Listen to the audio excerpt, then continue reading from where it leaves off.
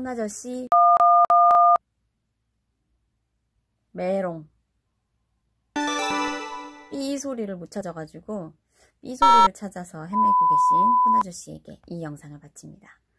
어, 뭐 욕을 하거나 좀 뭐라 뭐라 할때 삑삑삑 하잖아요. 그 소리를 못 찾으신대요. 그래서 저도 뭐 삐는 안 해봤는데 왜냐면 욕을 안 하니까 좋은 말만 하니까 그렇지만 어, 폰 아저씨 바보라고 하면서 funny. 그 소리를 좀 찾아달라고 하시길래 찾아보겠습니다.